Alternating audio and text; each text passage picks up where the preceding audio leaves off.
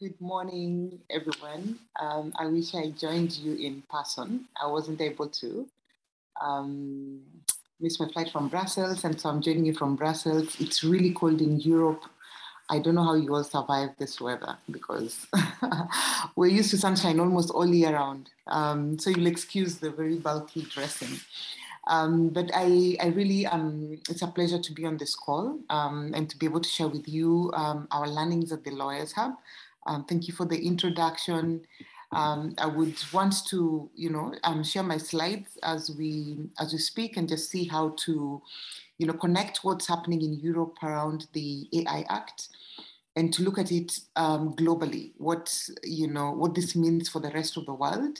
Um, there have been talks about Europe being the, you know, the tech policy capital of the world um, in terms of developing legislation.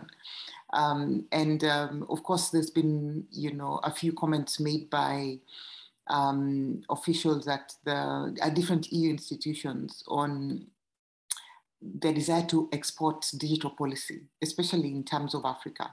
Um, and so we'll try and look at what what that means for the rest of the world in 15 minutes. That's a really short time, um, but I will um, I will try and you know um, make it make it possible.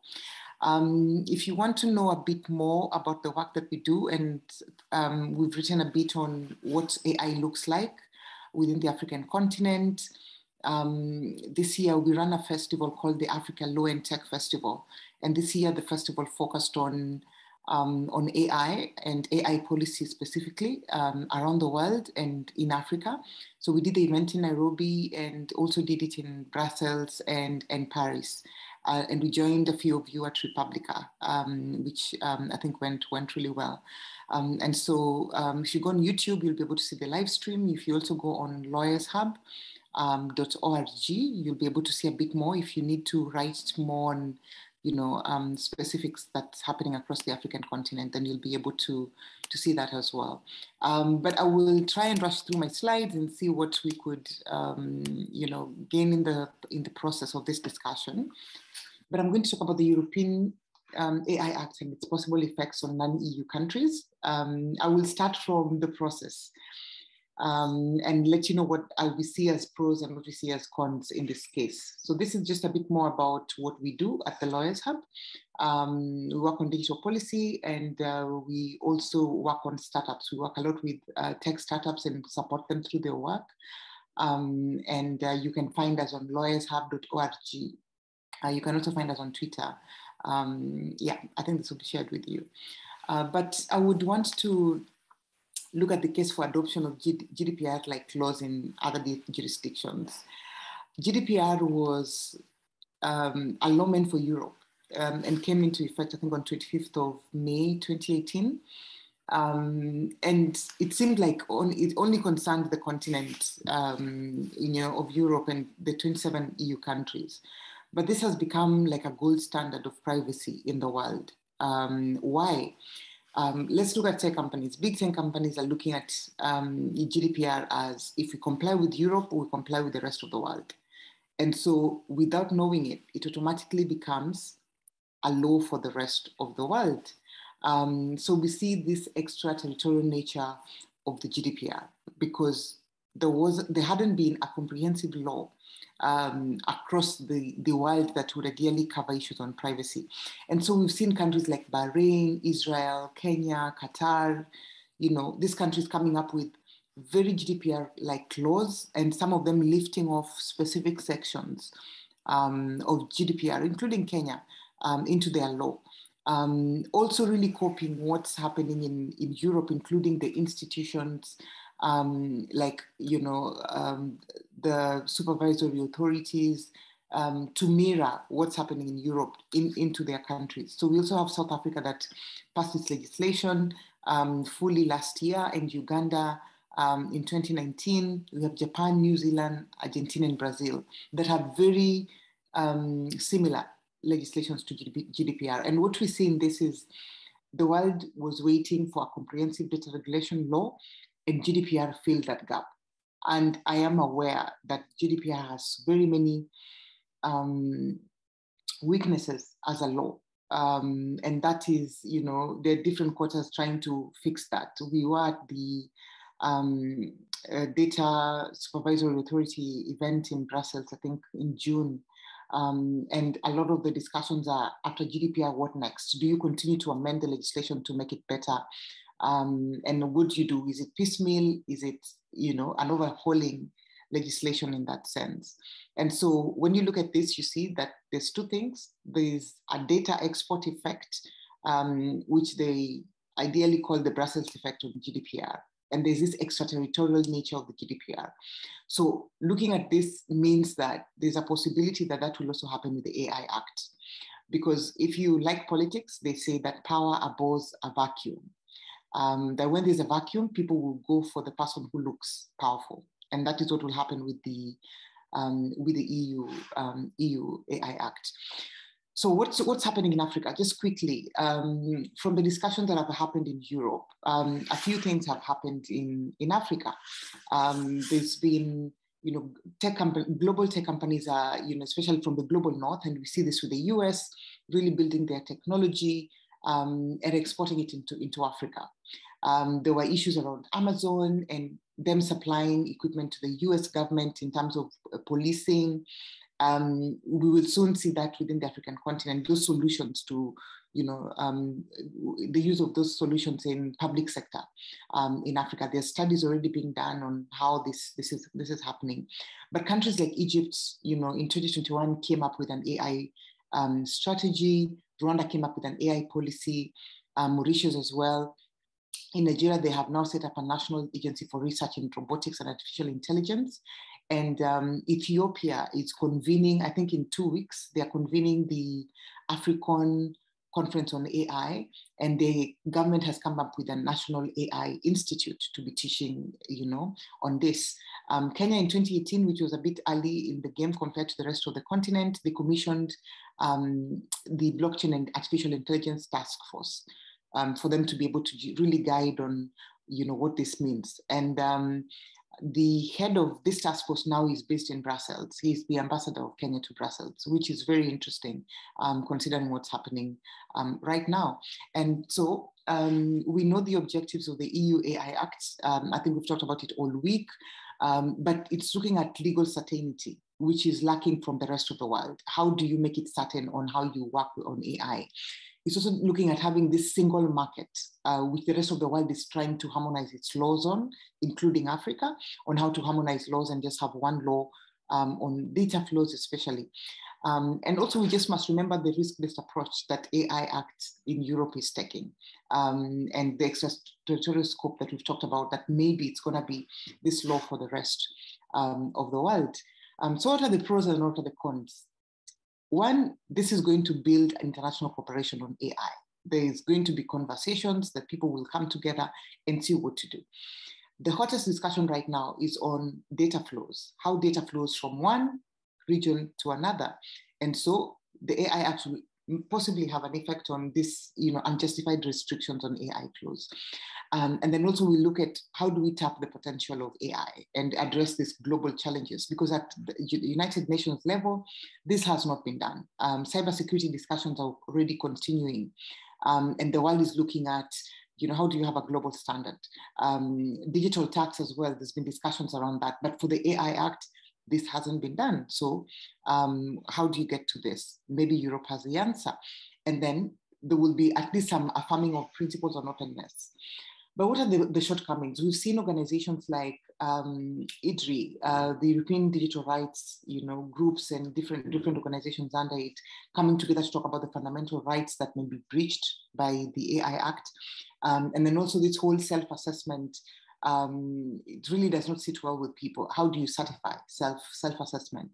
Um, and then finally, um, there's been um, you know concerns around individual harm, really over focusing on individual harms and overlooking societal harms to society around AI.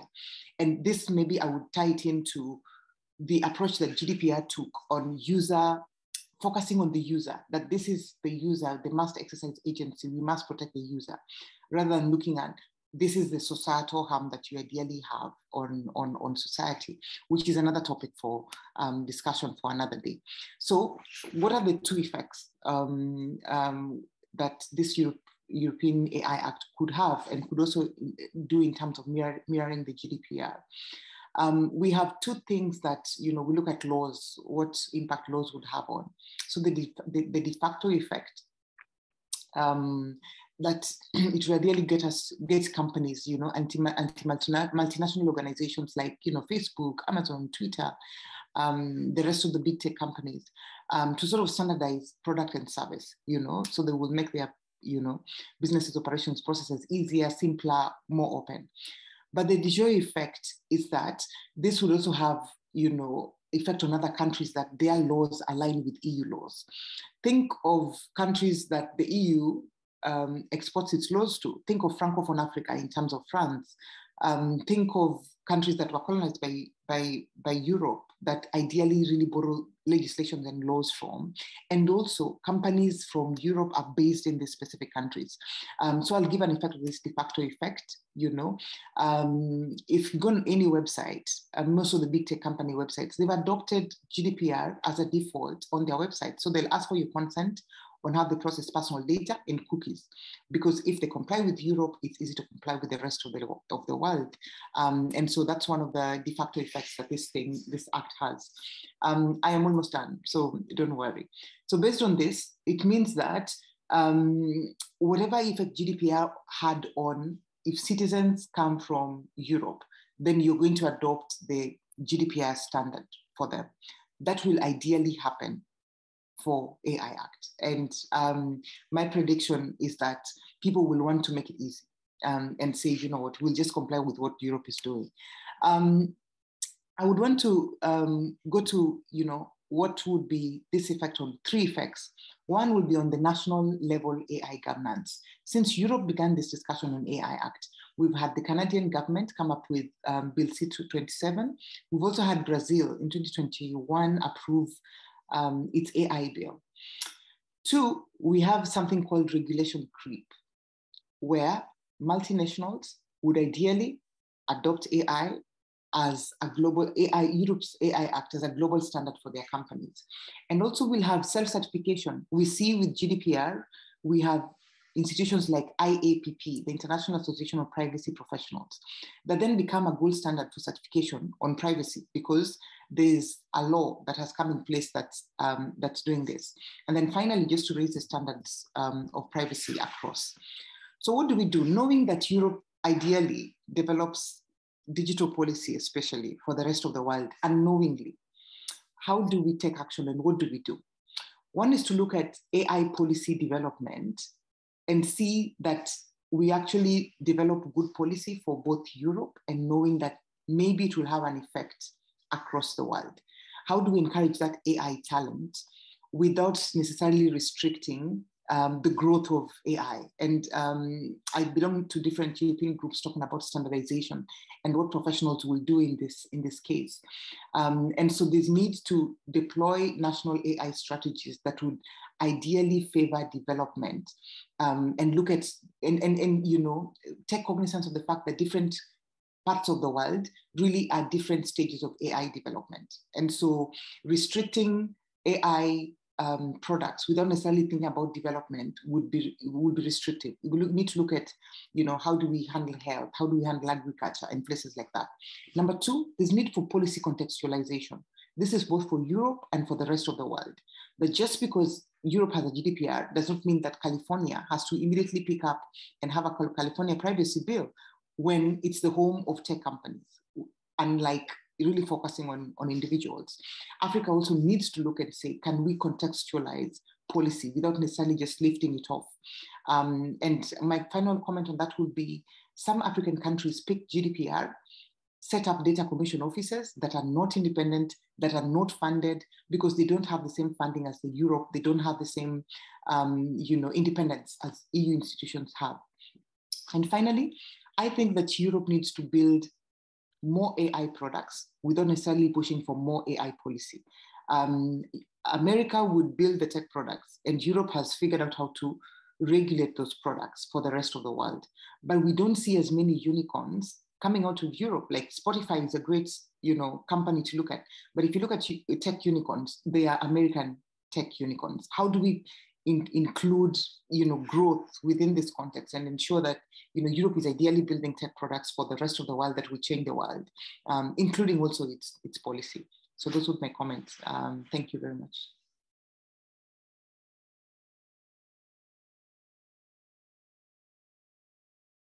Thank you for having me and for the super warm welcome. I actually want to take you on a bit of a personal journey, and it's been great to have Linda as previous speaker.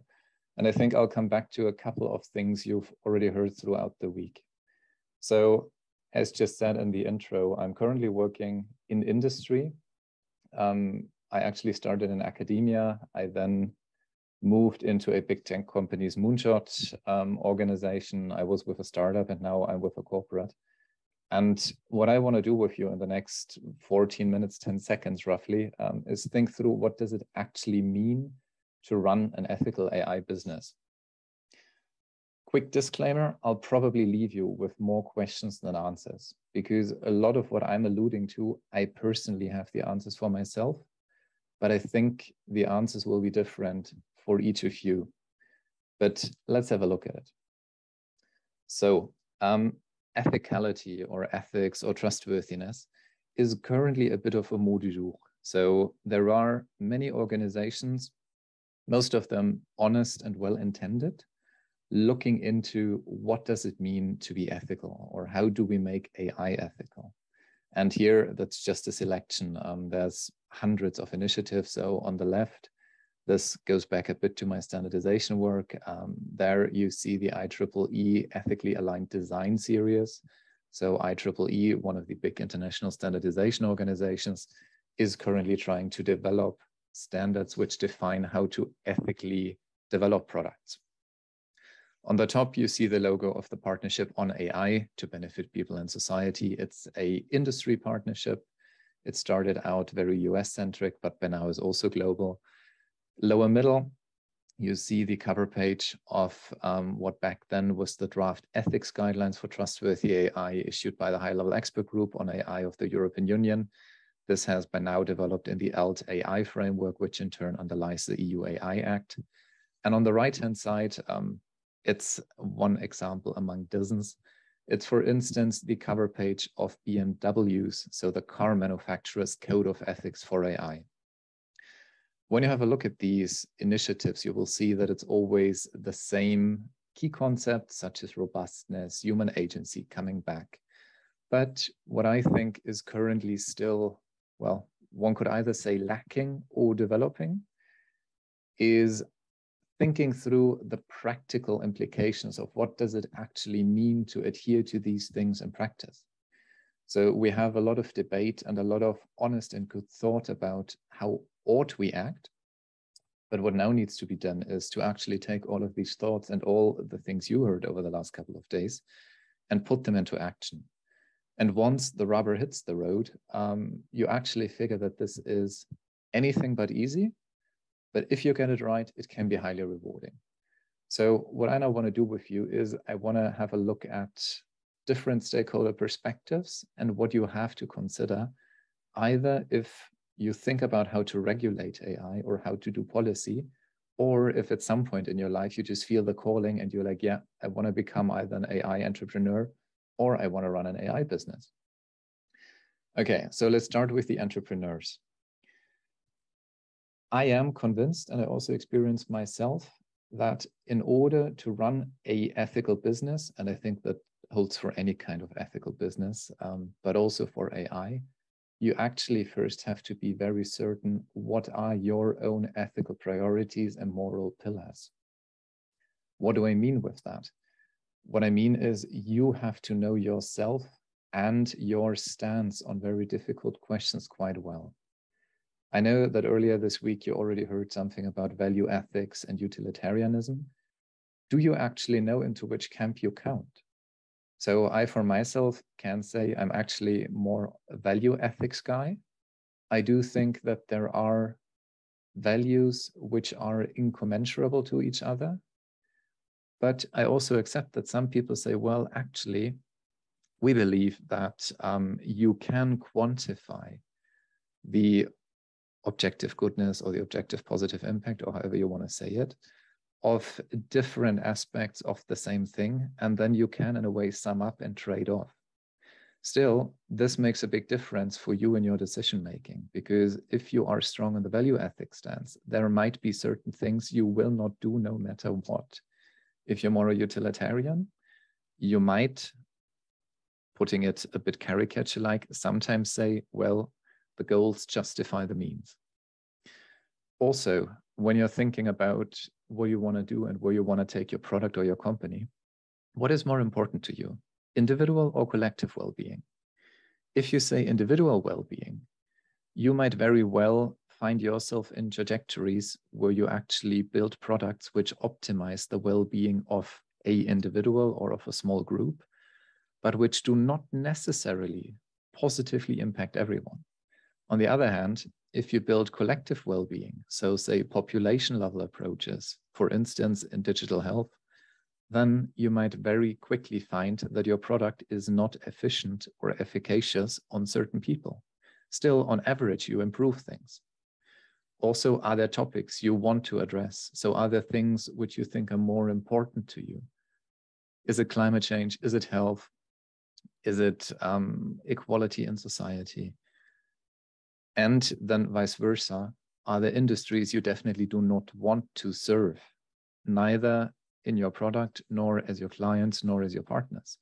And there's the usual suspects where many people have opinions. For instance, the security industry, the military complex, fossil fuel industry. Your personal answers to all of these questions will very much constrain what you as a manager or as an entrepreneur can do and want to do, and thus also what you can credibly represent and carry into a company. So if we now have a look then at companies, say you've settled this for yourself, you know yourself, you have taken your decisions there. Um, if you start a company, the thing everyone will ask you for, and also um, pending that external circumstances are not suddenly abysmal, what will carry your company is your business case. Think through that business case and think through it honestly. Why? because it then turns out that very often, particularly in how AI is currently done, um, certain business cases offer themselves more to being ethical than others. For instance, if your product or the service you want to develop on the technology side relies on data processing, and for instance, you need a lot of data for training a certain function, where do you get the data from?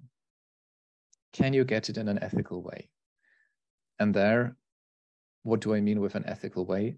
Well, in the best of all cases, of course, you acquire data through explicit data collection exercises where you fully inform the data sources about the purpose of the data collection, about the purpose of what you're going to do with their data. And you also make sure that they fully understand what it means for them to give their data to you. Is that always feasible? Well, realistically, if you now need millions of data points in order to train a complex machine learning system, either you need enormous resources because data subjects usually want to be compensated, or what currently is very often happening, you just make resource to publicly available data sets. Still, there, the data subjects hardly ever were informed because at the point of collection, it wasn't even clear what you wanted to do with it. Similarly, and um, this also partially goes back to the discussion about the global south, it's not enough with having the data itself. For many machine learning applications currently, you need labeled data. How do you get the labels to this data? Well, either um, you go out there and you get a service provider who is employing people at decent conditions is making sure that they are not just working for a minimum wage, but that they actually are properly compensated for what amounts to gruesome work. So if you've ever done eight hours of data labeling a day, you know what I'm referring to. Or you just put it to one of the standard providers. You don't ask questions where the data labels come from, but you run with them. Are you necessarily unethical if you don't ask questions? No, I don't think so. But are you running a certain risk of compromising your entire setup? Definitely. Also, next question, will you be able to serve all customer groups equally? And here, once again, Global South, um, it is much harder to come by health data from the Global South than from, say, the European Union and Northern America. Why? Because in the European Union and Northern America, you just have much more ICT equipped healthcare services already now, which in a way means the data rich tend to get data richer. Still, if you only have data about Europe and the US, is it likely that your services and products will equally generalize to people or to institutions from the global south? No, it's not. And then important, and I already alluded to that before, and also in the conversation um, you had with Linda, where she referred to we need more startup money. As a startup, if you need funding, with whom do you want to partner and under what conditions do you accept funding? So do you want to partner with venture capital funds who, for instance, get some of their money from a industry you previously decided not to work with? Or do you accept a risk capital injection under the premise that if your product fails, at least you can collateralize the data? So would you accept to sell data you collected previously in order to repay some of your risk capital debt in case your product fails? All of these are things you should think about before you embark on your journey. And then finally, having an ecosystem view. One of the key questions currently and this goes back to what I said in the beginning about there is many organizations who are now developing AI ethics frameworks or um, policies. Are they actually willing to follow through? So also think about you as a potential entrepreneur or manager. All the answers you might have given to the questions on the previous two slides, are you willing to follow through on them once it really comes to you as a company in an ecosystem. Why might it be hard to follow through? Because, for instance, currently there is not yet a market for ethical data and data labeling, which means that if you want to do these things at their real cost, if you want to pay people proper wages, if you want to inform data subjects properly, presumably you have to pay higher prices per data item or per label than everyone else who's relying on the existing infrastructure. Eventually, that's going to change. Once there is sufficiently many players who come with you, then economies of scale kick in. But for the moment, you probably are one of the trailblazers if you go that way and you pay a premium on top of it. And then finally, and this is also a big question, which um, in the context of the EU AI Act repeatedly is being discussed just from a different angle. As a company, are you really willing, and as an ecosystem, are you really willing to commit to transparency and public scrutiny? I do believe that in order to maintain the ethics standards you set at some point, you have to be willing to accept public challenge to them. And you actually have to show to the public that you do adhere to them it's not enough to say, I have an ethics board, believe me, I'm ethical. But in order to really make this a thing, people have to see what it means. So, um, wrapping up, message one, and I don't want to sound all doom and gloom. As you've seen on the questions over the last couple of slides and the few comments I've made about it, getting an ethical AI business going currently is hard both on a personal level, because you have to answer a couple of very uncomfortable questions for yourself, as well as a professional level when it comes to funding sources, to business model, to being price competitive. Still, I personally, and so does an increasing number of people also in industry, believe it's very much worth doing it. Why? First of all, because it's the right thing to do. So this is a very personal answer, but I can say that it feels good to try to do what I believe to be the right thing. And if you also believe that no, it's not all about the monetary revenue, it's also about the impact we leave, then you will also enjoy trying to work on ethical business models. Secondly, I actually believe, and there's growing evidence, that it offers great business opportunities. if you indeed are ethical and trustworthy, that can be a strong, unique selling proposition. It can be a differentiator in the market. So imagine having a, say, social network, which would provably be trustworthy with the data and with the AI mechanisms in its recommendations. If you could publicly go out with that and, for instance, get an organization like the Open Data Institute in the UK to back you up on the trustworthiness, that would be an enormous PR and sales proposition contrasted to most other offerings in the market currently. And rolling from there, um, the efforts you put into building a ethical business. And the important part is you have to do that from day one. You can't retrofit ethics into an existing well-running organization. It's not going to work. But the efforts you put in, if you're successful, the return on investment is disproportionately high, both again morally, because you can actually contribute to shifting the entire ecosystem, as well as economically. If this works and you can use trust as value proposition, you will be currently one among the few who can offer it. And as you see by the public discourse, trust and trustworthiness or ethicality is becoming more and more demanded. So, long story short, yeah, it's brutally hard, but I actually think it's very, very much worth doing because it's just the right thing, economically and morally. Thank you. End of monologue.